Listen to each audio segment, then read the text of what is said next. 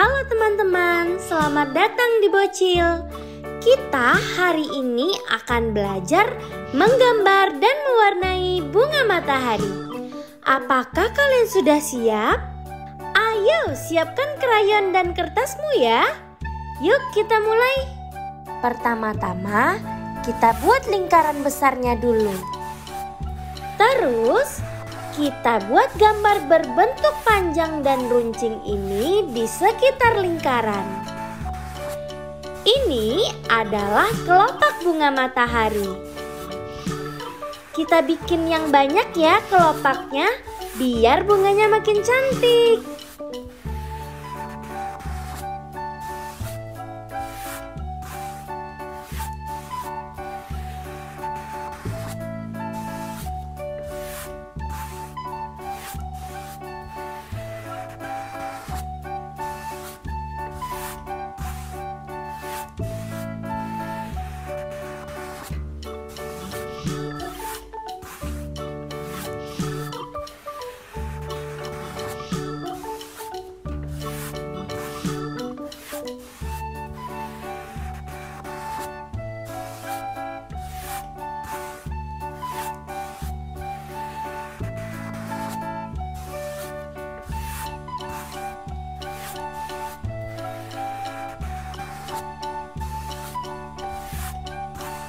Sekarang kita gambar garis ke bawah buat batangnya.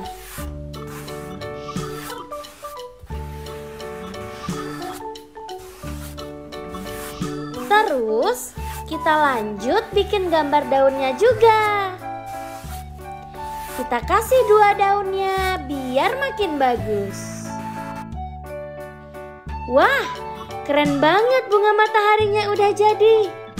Sekarang waktunya kita mewarnai. Pertama, kita warnai lingkarannya dulu. Kita kasih warna coklat ya teman-teman di bagian lingkaran ini.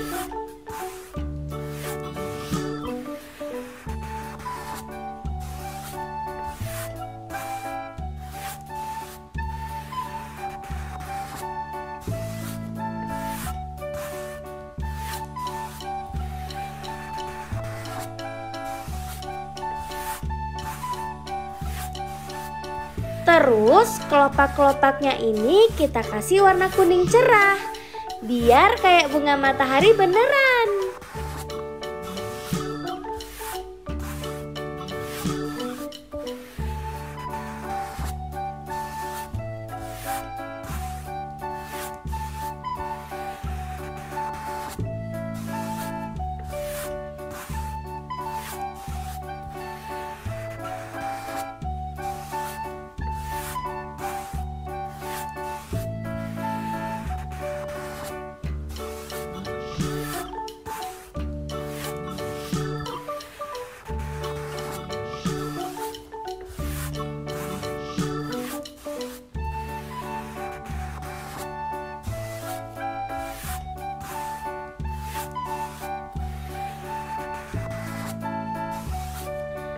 Sekarang kita kasih warna bagian batang dan daunnya. Kita kasih warna hijau terang supaya bunganya tambah indah.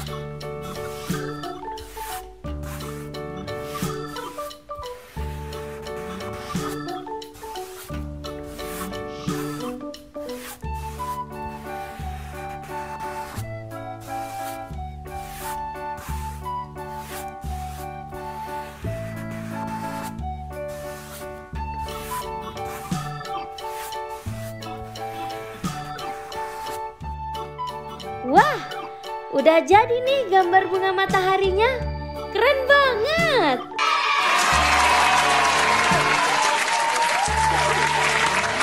Gimana hasil gambar teman-teman? Pasti bagus-bagus deh. Jangan lupa kasih lihat ke keluarga dan teman-temanmu ya.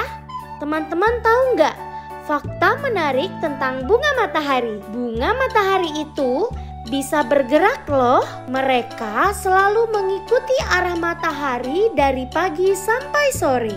Pada pagi hari, mereka menghadap ke timur, terus sore hari ke barat. Jadi, mereka selalu dapat sinar matahari dari pagi sampai sore buat tumbuh subur. Seru kan fakta tentang bunga matahari ini? Seru sekali ya petualangan kita hari ini. Ingat teman-teman belajar yang rajin ya. Nantikan video edukasi bocil selanjutnya. Sampai bertemu lagi. Dadah!